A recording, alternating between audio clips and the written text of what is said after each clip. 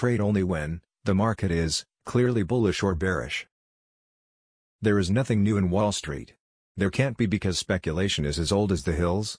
Whatever happens in the stock market today has happened before and will happen again. Buy, rising stocks, and sell, falling stocks. Markets are, never wrong, opinions often are. Not taking the loss, that is, what does damage, to the pocketbook, and to the soul.